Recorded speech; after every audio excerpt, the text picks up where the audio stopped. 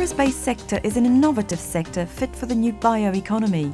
It's in full transformation with sustainable practices, technology development, product innovation with information and communications technology use. It has the right components to be a major contributor to the bioeconomy, all the while supporting the rural economy. The Forest Based Sector Technology Platform is an industry driven platform for collaboration in research, development, and innovation. It maintains a constant dialogue with European institutions. Our research also focuses on energy and resource efficiency improvements. Key enabling technologies applied in our sector create a league of new advanced materials and opens up new markets. Our sector represents a green carbon chain that is constantly renewing itself by the means of sustainable forest management schemes. It's an endless cycle that captures and removes green carbon. Reconciling sustainability and competitiveness in the areas of energy efficiency and production becomes a reality. This goes hand in hand with the fact that woodworking and paper industries prepare for eco design standards. Recycling of forest-based products encompasses resource efficiency and underlines the sustainability concept that had been invented and developed within the forest-based sector. Now let's take a look at those innovations, new products and technologies in the forest-based sector today. Doing more with less is one of the ultimate aims of research and development and innovation in the sector. It also makes good business sense.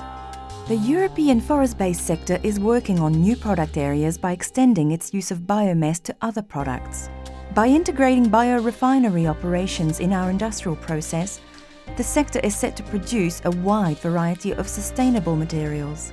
In this way, the forest-based sector increases value to the European economy. Latest tree planting machines can now deliver effective soil preparation and planting on all types of soil. They provide full-scope regeneration functions from scarification to planting. New harvesting head machinery combines excellent geometry, precise measurement, powerful feed and cutting, making it optimally efficient and economical for foresters. In the last decades, a new portfolio of innovative products entered the construction market, creating new ways to use wood in buildings on large scale and small scale. One good example is glulam beams that can have a length of 300 meters span without any pillars and that lead to a totally new way of constructing large-scale buildings. A joint Swiss-French team was awarded on their breakthrough research in the area of wood welding. This is a mechanical friction process allowing to assemble timber without any adhesive in a very quick manner.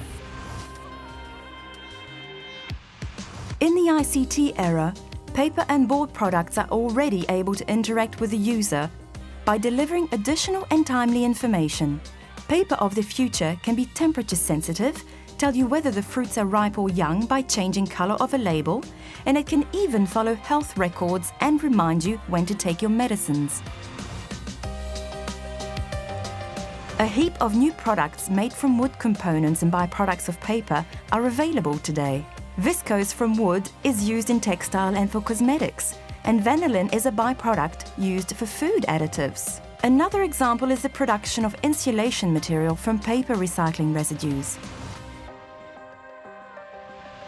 Only 2 millimeters thick, Durapulp can bear weight, tension and humidity, as well as temperature changes. The PLA encapsulates the paper fibers to create a material as strong as wood, steel or hard plastic. A renowned trio of designers made use of this durable material to wow guests at the Milan Furniture Fair with a design of the children's chair Parupu, meaning pulp in Japanese. The European forest-based sector is fit for the future. It is an innovative industry which supplies essential products to consumers in line with society values. The forest-based sector, a major contributor to today's and tomorrow's bioeconomy.